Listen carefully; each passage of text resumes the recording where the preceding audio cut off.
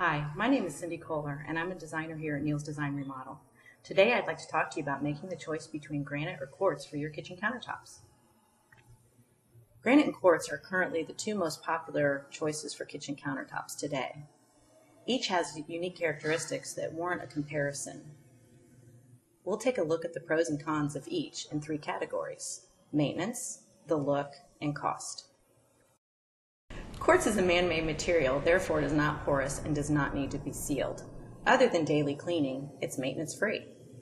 Because granite is a natural stone, it is porous and will need to be sealed. But don't let that deter you from choosing granite. There are different levels of porosity depending on which stone you actually choose. The myth that you may have heard is that quartz is significantly easier to maintain than granite. This is because granite needs to be sealed. The truth of the matter is, sealing granite is as easy as dusting your furniture, and you really only need to do it once a year.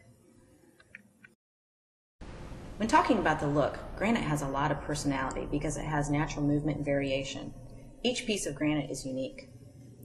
Quartz is pretty consistent in color and pattern, whereas granite always has some kind of speckling or swirls going on.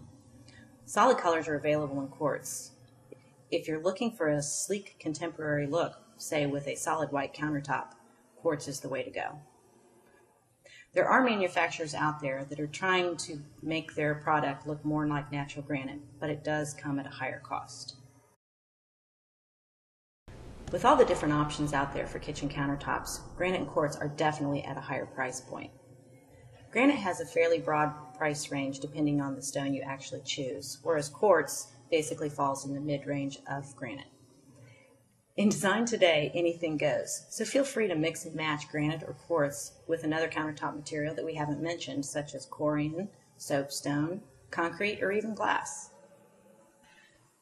To find out more about your kitchen countertop options, I encourage you to visit our showroom here on Kemper Road.